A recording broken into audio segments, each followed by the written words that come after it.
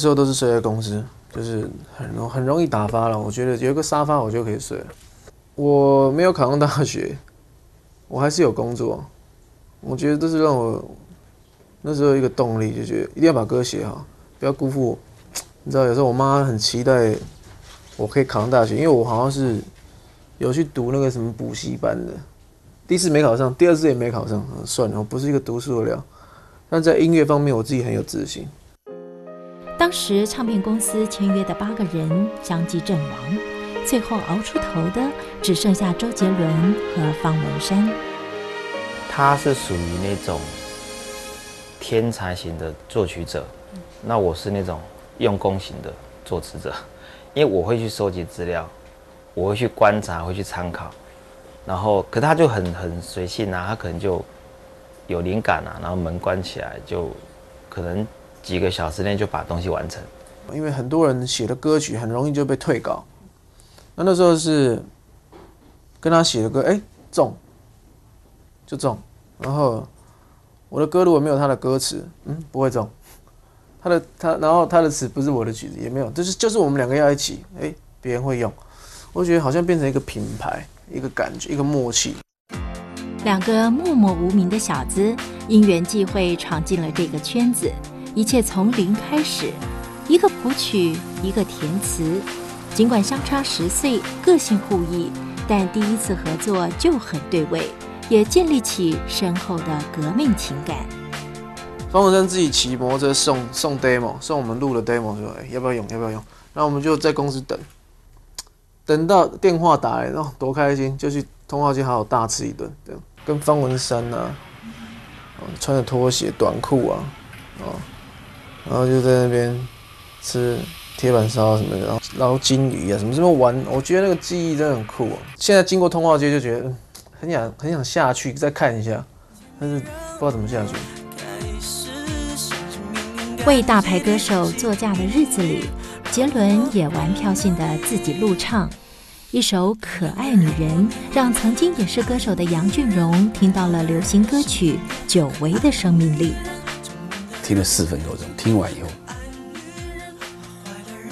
这歌你唱的？呃，对啊，你写的？对，我写的。那个和声是谁写的？因为和声很漂亮，那歌和声，我我听到那个音乐的生命力，都是我写的。谁唱的？我唱的。谁编的？我编的，哦，等我一下，我就那就跑进去。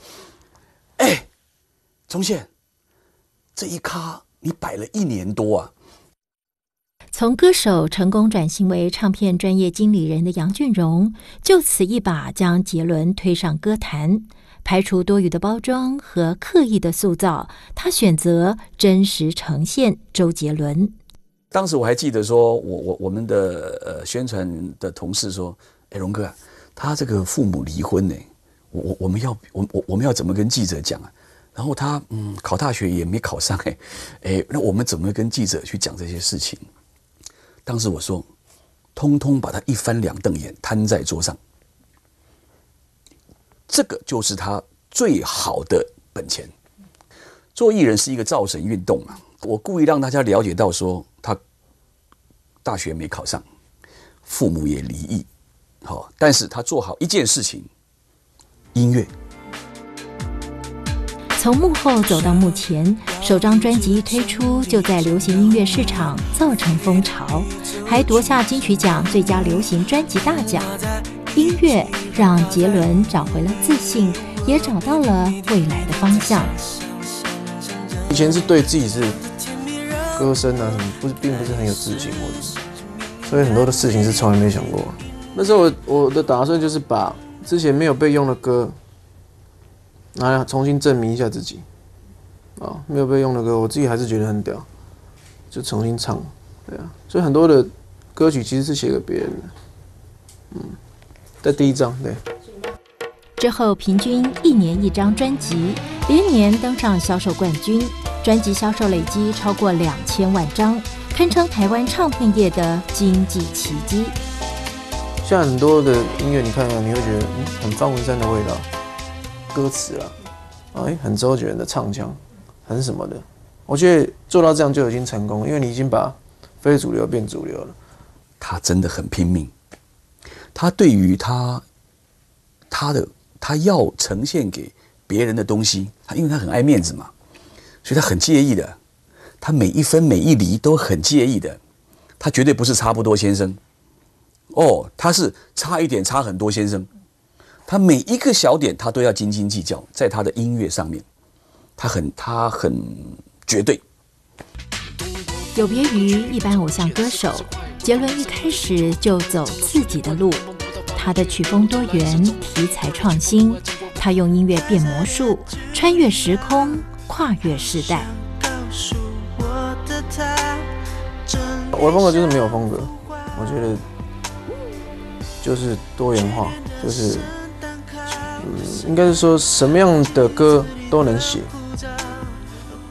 我觉得这个是比较屌的事情，就是你可以写江蕙的《老河虾》，啊，那你又可以写《千里之外》中国风的，啊，咬字清楚的《菊花台》，然后你又可以唱《双截棍》，啊，很多种类的摇滚的、甜蜜的、悲伤的，各种情绪都有，讽刺狗仔的，写孝顺的，讲不完了。我觉得很多种菜色，其实。我是贪心的艺术家，要扩张自己的势力范围，你要到年纪比较长的都听你的歌，你要找一个人跟你合作。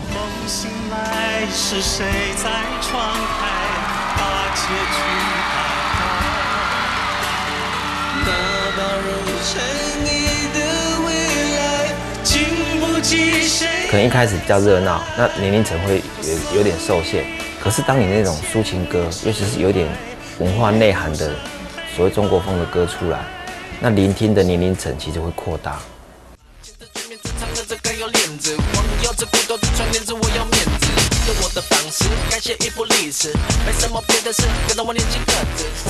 这首歌呢，呃，是讲一些中药。因为我觉得中药没有人写过，我觉得蛮屌。然后请方文山呢想一些中药的名字，把它串起来。那中药的嘻哈，那其实有点讽刺一些那种崇洋媚外的人。特有的台式饶舌融入浓浓的复古情怀。原来流行歌曲可以这样玩，这样唱。这种东西新旧的一直组合，这种特殊的听觉视觉感受。流行音乐前所未见，它是一块海绵。